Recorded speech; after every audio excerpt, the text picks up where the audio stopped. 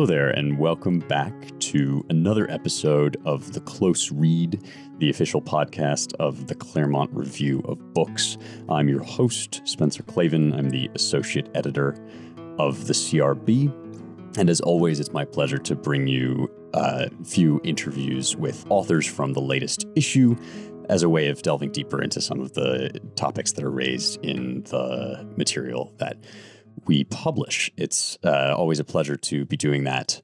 Uh, it's especially a pleasure today to be joined by my friend James Poulos, who is what we call in house talent in the sense that he is a colleague here at Claremont. He's the executive editor of The American Mind, our sister publication, the online publication. And that is appropriate because James, in this issue, which is the spring 2021 issue, has the cover essay, one of a pair of cover essays on big tech and the future of self government. This is obviously a major issue in the news, but we've tried in this issue of the CRB to provide uh, a couple of approaches to thinking about the predations of companies like Facebook, Google, Apple, Twitter, in a way that goes deeper than just the headlines. So, if you check out Daniel Oliver's essay, which is about the limits of antitrust law for dealing with the anti competitive behavior of, of companies like Facebook and Google, you'll get uh, an in depth reflection on the legal ramifications of this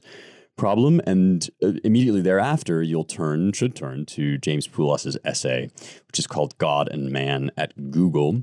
And as the title implies, it's a cultural, spiritual, and uh, philosophical reflection on what the advent of digital technology has meant for us anthropologically as a species. The book is, the essay rather, is technically also a review of a staggering number of books. Uh, there are one, two, three, four, five, six, seven books reviewed in the course of this essay, but it also works out an argument that I think our readers will will find illuminating and be be glad to track about what digital technology has done to us as humans psychologically and what sort of impulses it has awakened in us. To give you a sense of the sort of historical sweep of this essay, I'm going to start by reading from a paragraph pretty early on in the first page of it. And then I will bring James on to tell us more about his thesis. So uh, James writes, the power of imagination, which dominated the pre digital world of electricity and television, has faded in the digital era. America's prominence in the 20th century was increasingly burnished by a cult of make believe.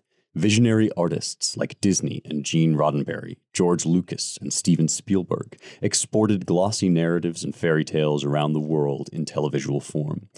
Gradually, these narratives that America is the strongest nation in the world, that we can do anything and be anything, ceased to correspond to reality. We hit limits beyond imagining. At the same time, digital technology began putting everything on record, dispelling the illusions we tried to construct for ourselves. Degra- disgraced governors caught out in scandalous defiance of their own COVID lockdowns, cell phone footage of riotous city streets, proliferating images of a capital surrounded by razor wire. Claims of America's strength were now undercut by innumerable records of missteps, shortcomings, and failures. James, first of all, it's great to see you and talk to you as always. Welcome to the show, and thanks for joining us. Well, it's a pleasure to be here, and especially to talk about such uplifting things as these. Indeed, and there, there is, in fact, I, I would say, hope in this essay. Um, you have to work through it and understand. You kind of have to get the bad news before you get the good news, as G.K. Chesterton remarked of Christianity. And so, I'd like for the uninitiated, for those who are maybe not used to thinking about digital technology as a sea change in in in media technology and in our relationship with tools and, and with media. Um, you talk in in the opening here about Imagineering as kind of the dominant mode of thought and action in the pre-digital that is the tv era when t- television was the dominant media for communication. Can you tell us a little bit i mean this is a, from the disney co- company this this word but you think of it as something much bigger. Can you tell us our audience a little bit more about what imagineering is and why it was such a powerful tool before digital came along? Sure. So, uh, different kinds of tools that we create technologically um, extend our capabilities in, in different kinds of ways. And so, some of our senses and some of our faculties are sharpened, others are dulled or pushed into the background. Um, this is just a generic feature of life with any kind of technology. Really, it doesn't have to be digital or electric. Um, you know, you can go back to like print technology, the technology of the printing press, or back back still further to you know the invention of the alphabet, which was a huge uh, technological leap in its own right. Uh, and then before that to sort of oral technology. So you have these waves of technological advancement writ large, and they do, you know, shape our uh, cognitive and our communicative environments in different sorts of ways. I mean, you so, can find you can find reflections on this at the shift from oral to written technology, for example, right? In Plato, the way that it will things that it will do to our memory to be able to write things down, for example, is exactly. You can, you can think of uh, you you'll remember better than I will which specific passage uh, in in Plato it is where uh, Socrates complains that uh, written language is sort of like trying to have a conversation with a statue. You know, you, right. you, you, might be able to hold up your end of the conversation pretty well, but there there are limitations to what you can get from the other guy. Um, yet, nevertheless, you know, Plato persisted in uh, in, hmm. in, writing dialogues, and yeah. uh, and they still, you know, they still have uh, uh, powerful resonance and relevance today. So, you know, you get not only changes in um, in in uh, in media technologies, but you get sort of compound or cumulative changes. Uh, so, when you look at digital technology today, it sort of contains all the other previous media. You can you know jump on your computer and you get video and you get audio and you get text and you get sort of all of the things that used to be uh, powerful media in their own right, which would totally shape our world in certain ways. They're all sort of condensed, compacted into digital, which is one thing that makes it so so powerful and has so much uh, authority over our lives. Uh, so you know that that all said, um, if if digital technology is really defined by the power of of machine memory, the ability of machines to uh, record things and recall things um, on a scale and, and with an intensity that you know was was definitely um, uh, beyond imagining in uh, in decades and centuries past. Uh, then the uh, the the noteworthy features of televisual technology, you know, TV, movies, were that they really heightened our sense and sensibility around the imagination. Um, if you could visualize something through the power of the imagination, then that gave you a certain kind of advantage in society, uh, one that that gave you a certain kind of control over the masses, um, and one that ultimately rose to a level of of rule um, in America, in the West, and and uh, to a large degree over the world. Um, and as time went on in, in the TV age, uh, people became quite uh, explicit and intentional about this. Um, you know, you can think of the way that the U.S. waged a sort of uh, Cold War culture war, where it was, you know, it was Hollywood, it was our movies, it was our TV shows, it was the products of our entertainment industry uh, that you know that that captivated, captured the imagination of people behind the Iron Curtain. Um, so you know these tools can always be used for good or bad, or for kind of neither. Um, but the important thing is, uh, you know, the uh, the the mode of rule or the mode of organizing um, and inspiring and motivating uh, large numbers of people in America during the TV age uh, was was very very much televisual. What happened on screen was more important than what happened off. Uh, the the power to move minds, to shape the way people perceived things, the power of propaganda, um, all that stuff flowed very naturally out of uh, the medium of television. And you know, it's it's for reasons like that that Marshall McLuhan famously said, "The medium is the message." Uh, you know, there the message of the medium of television was if you can dream it, you can do it. Uh, whoever imagines best is going to be the, the most powerful or authoritative. Um, and and that ultimately, you know, the imagination became a, a subject or a, um, a resource for uh, for science and for technology and for the will to exercise itself upon. Uh, so, so that so hence, hence hence the term imagineering. Right, right. I mean, in some ways, the major figure or a, a major figure of the kind of uh, communication you're talking about is is the ad man, right? Is the guy who can so perfectly construct an imaginary scenario that he makes you do the thing that he wants you to do. I mean, is that a, a fair assessment?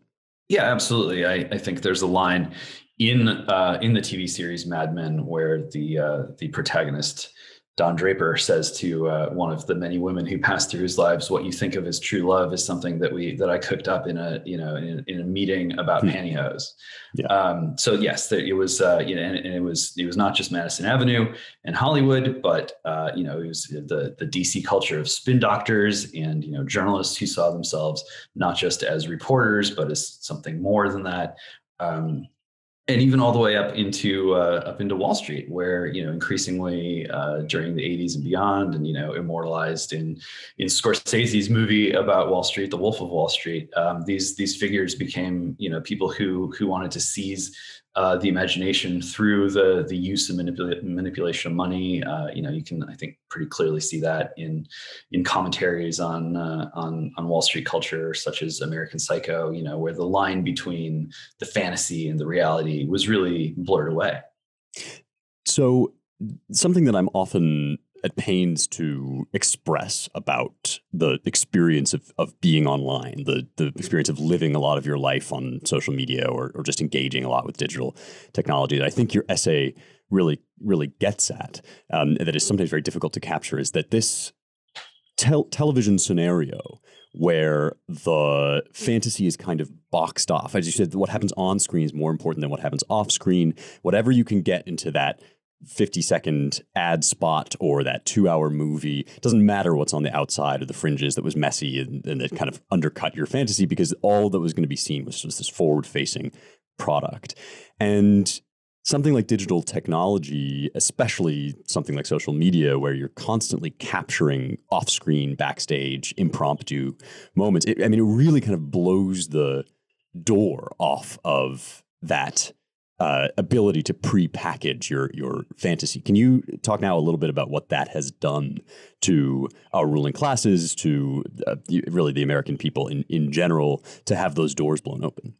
The first big indicator to me personally that this phenomenon that you're discussing was real and had already been setting in for quite some time uh, was when I uh, attended one Super Bowl party um, hmm. at a certain point, uh, and it was the first Super Bowl party where I saw a, a high definition television and everyone on screen looked incredibly different than they did when you watch a low definition television.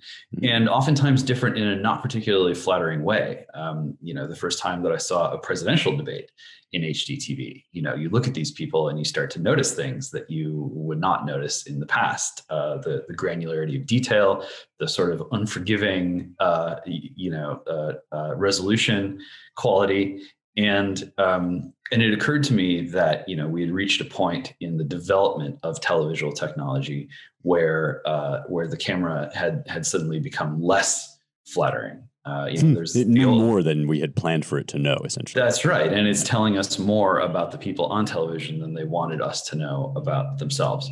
Huh. Uh, so, but there's no question that you know the the social media as we know it is really more properly understood as a televisual technology pushed to its furthest extent than a digital technology, which is all about machines and what they can remember for us. Uh, you know, social media. The premise of social media really is that you can be both the the old man yelling at the cloud and the cloud itself you know you can be the the armchair uh, political junkie sort of yelling at, at bill o'reilly but you can also be bill o'reilly at the same time. And in fact you know this spirals out even further. You can use social media to create any number of uh, of alternate accounts uh, you can even converse between these personas so that people don't suspect that you are all of them. Um, and each different persona can sort of create its own ecosystem of, of arguments and post its own streams of content uh, not only can you be the person on TV, you can be uh, the the television studio or indeed the broadcast network. Um, and you know, some people, some of whom we know personally, have done very well in in uh, taking advantage of those tools sure. Uh, to build uh, real alternatives to the cable TV system as we knew it, and certainly to you know broadcast television, where you had three channels and you had three newsreaders, and what you got off of the screen was the news, and there was no arguing about it. Right. So on on one level, of course, this provides tremendous opportunity to kind of circumvent the officialized narrative, right? The thing that MSNBC, uh, CNN, and the New York Times want you to know, right? You suddenly the the like veil is lifted, and you see backstage. Also, as you say, it creates a, a number of uh, really quite unhealthy and, and and deranged and deranging phenomena like the people who invent multiple personalities and talk to themselves online. Uh, if you've ever been on Twitter, you've uh, maybe been attacked by trolls who are all the same person. It's like five different people, but it's all the same person. Um, so we have a, a, a, sort of monumental historical phenomenon, which is this shift from one dominant form of, of media to another. And then we also have, and your essay is quite uh, articulate about this, uh, a spiritual or a social phenomenon. And that is the rise suddenly of religious conviction of both traditional and especially non traditional forms. Wokeness is the great example, right, of, a, of this sort of new dogmatic faith. You must obey its creeds, you must kneel before its gods, you have to, you know, pay respect to all the different saints, to George Floyd, to, to Anthony Fauci. Um, and there is a connection between these two things that is not immediately apparent but is profound. Can you draw, can you connect the dots a little bit for us between this sort of change in, in medium and this uh, emerging kind of focus on religion? Well, so there's a, a classic film back in the day um, called uh, The Man Who Shot Liberty Valance. And the hmm. film begins with this sort of annoying uh, reporter demanding of uh, of a, uh, I guess at, at, that point in time, a, a senator who had a, a history with a, a small town, uh, to tell the true story of what happened, you know, one day back when when he emerged from small town status to something larger. Um, and the movie is the bulk of that story being told. Um, and at the end of the film, uh, we're left with this haunting phrase, which is uh, "print the legend." Um, and the idea is that you know sometimes for if you really want to know the truth, you have to begin with something which is perhaps not really the truth, but is something that has more of a kind of poetic power or force, something that can uh, that can convince without persuading, to use Rousseau's memorable phrase. Mm. Um, and so I, you know, I would say that what we saw in in the era of TV dominance was a sort of collective agreement that illusion was simply more important than reality and that you know even what you saw on screen was not in fact a smoothly moving image at all. Um, you know in, in in the early days of television it was it was not even in color. Uh, after colorized tv it was still really sort of a rasterized screen with blobs of colors flashing at different times to create the illusion of an image uh, and of course, as you know, as as infamously lampooned in the movie Fight Club from 1999, um, even a movie isn't a smoothly moving image; it's frames, and mm. those frames can be sort of snipped and played with and edited in certain ways. And we all know that what we're seeing is not really what's happening in real life. It's it's a sort of trick that presents these images as real in a way that convinces our brain in some way that they are real. Uh, and yet, in spite of all this, um, it was of the essence of the TV era that people came to recognize that those illusions were more powerful and consequential than uh, than reality. And the goal of many people became to succeed at the level of that illusion rather than succeeding at the level of reality.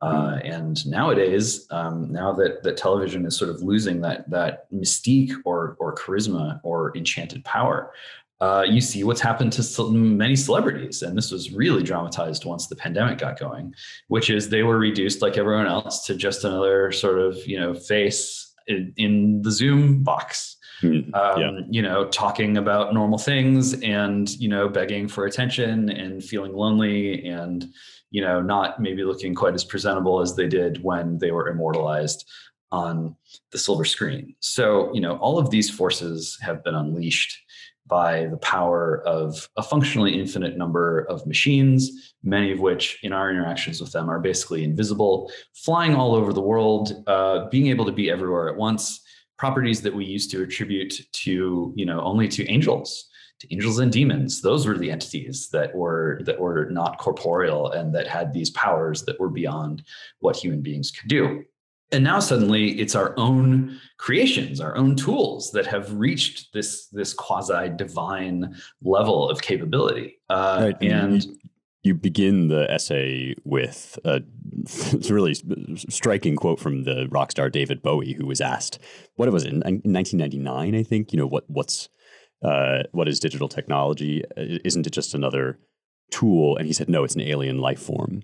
This invasion this alien invasion of other beings. I mean uh, this this reality thing is, is something i'd like to draw out actually that uh, you know on the left and on the right there is this language slang language that weirdly mirrors itself because you would think of course that the left and the right would be having completely different experiences. In fact they're having the same experience which is the experience of waking up. The the woke metaphor originally right is that you had been hoodwinked in a certain way to believe that America was just and now you've woken up and you realize that no America is is racist.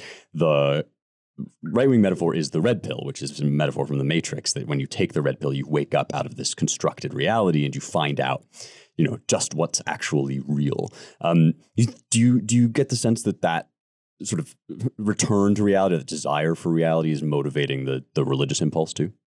Well, that's right. So to to complete the image, we're confronted with uh, machines that behave in in what strikes us, you know, deeply and instinctually as a supernatural way, and the the triumph of those machines over our world uh, on a level that now it seems clear that no human being or group of human beings can control the world anymore. Certainly not through the power of their imagination. Um, this calls into profound questions, sort of the, the, the basic modern and postmodern answers to the ultimate questions about who we are and why we should bother being who we are and um, what kind of, of practices or you know what kind of ways of life make the, the difficulty of life, the struggle of life worth the trouble. Uh, and so in, in a quest uh, for answers to those questions, um, you know, despite the fact that uh, the the trend lines on religion are don't look all that positive and in some ways are very confusing, I think we're beginning to see a very strong trend that is already spreading quite rapidly around the world. Uh, where people are turning to to pre-modern answers, um, and you know, and not necessarily all the way back to to classical Greece and Rome to to polytheistic answers. Although there are probably even a few people now who are kind of quietly wishing for the old gods to return. I think in most hmm. cases, you know, in the West, it's it's Christianity, and in other civilization states, um, especially China. Uh, you know, I, I, think in order to understand how people are responding, you know, trying to figure out how to regain mastery of these entities that have invaded our world, uh, they're looking to religion and they're looking for ways ultimately to uh, to program our machines uh, to to believe in our religions just as much as we do.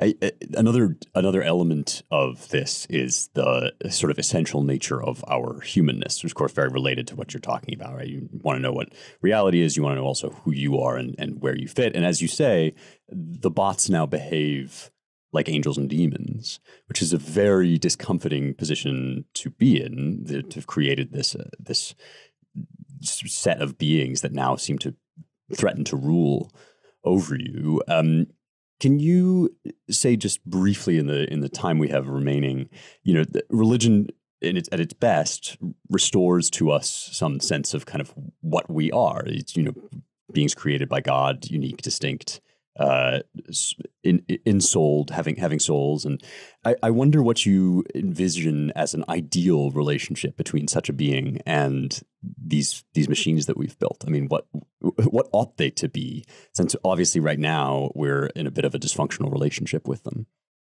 Well, you're right to say that this religious turn reflects um, a desire and, in fact, a need to to re-encounter reality and to reground ourselves in reality. Uh, and one feature of that reality is the political. Uh, if you go back to Aristotle, and you know, I, I, think this is one piece of Aristotle that has survived pretty much intact from the beginning, has never really been seriously challenged by anyone, uh, which is that um, that he who does not live in a city must be a beast or god. Um, you know, we could we could slightly edit that today to say that the the entity that does not need politics is either an animal or a bot a beast mm. or a bot. And so the the challenge, you know, one of the core challenges that we face in figuring out the nature of our relationship at its best between ourselves and our machines is the realization that our machines not only have no inherent interest uh, or care toward us and our distinctly human concerns and feelings and emotions and souls, um, but they have no particular interest or or basis for participation in politics of any kind. Um, and so, if we want to preserve our humanity, um, we need to accept that the the distinctions between ourselves and the bots go beyond the sort of anthropological level of we have souls, they do not, we are alive, they are not, we have bodies, they do not, we are incarnate, they are not, to you know to to some more uh, well developed uh, features of our humanity, um, such as we are political creatures, we are mm. political beings. And then on the religious side, that we can really only understand our identity and our difference. Um, and we can only really structure our, our interpersonal relationships um, in a generative and healthy way if they are mediated through our relationship with the divine. And so, understanding these things, once again, retrieving that sort of pre modern wisdom and understanding then what the nature of our machines are and how, you know, we we're not going to reduce them to the level of, of slaves as there were slaves back in the old days. Uh, but we don't want them to reduce us to that level either. So we have to find a modus vivendi, and uh, we need to we need to return to um, uh, an understanding of our, our human nature as uh, as as religious and as political creatures, uh, so that we can you know reclaim our control over these machines, salutary control, and not try to outsource it to some other regime or uh, or or outsource it to uh, to an administrative state which is already showing signs of wanting to just retire from from the real work that human beings do and assign justice as one more task to the bots you know that's not going to end well um, mm. i don't think we should be afraid that that um, is a possibility that that that might take over the world forever uh, but I do think that that people who try to go down that road will will do a great deal of harm before their project ultimately fails. Mm. It's profound stuff and speaks urgently, I think, to questions that we, you know, we may not immediately think to ask, and yet will will very quickly become at the center of, if not, they really are already at the center of uh, our, our our statesmanship going forward. James, congratulations on this essay. I really commend it to our listeners and readers. I think it's an important piece of writing.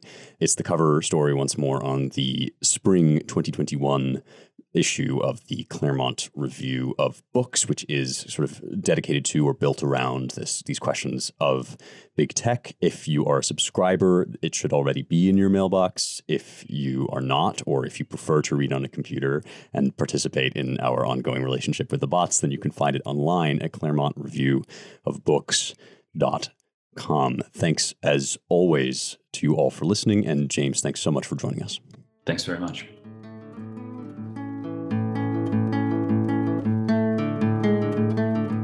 Thanks for listening to this episode of The Close Read, a Claremont Review of Books podcast and a production of the Claremont Institute. Our publisher is Ryan Williams. Our producer is Jake Gannon, and I'm your host, Spencer Klavan.